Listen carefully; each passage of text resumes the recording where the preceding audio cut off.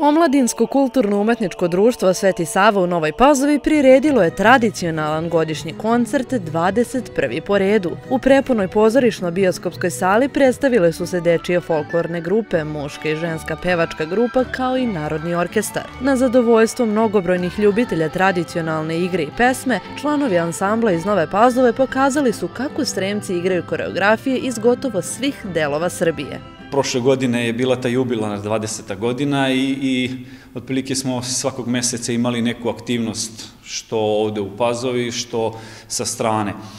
Ono što bi izvojili jeste da je starija dečija grupa osvojila zlato na pokrenskom festivalu uh, uh, festivalu dečjih uh, grupa Vojvodine.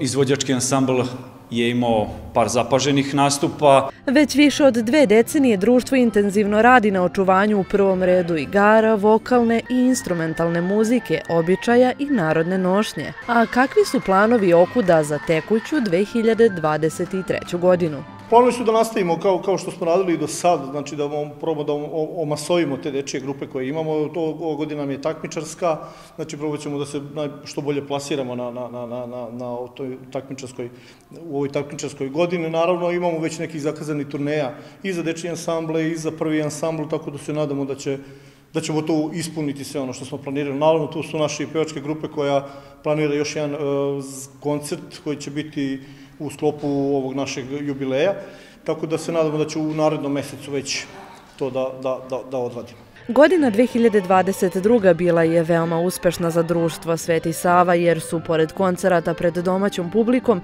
igrači i muzičari iz Pazove učestvovali na mnogobrojnim festivalima folklora i putovali u različite delove zemlje.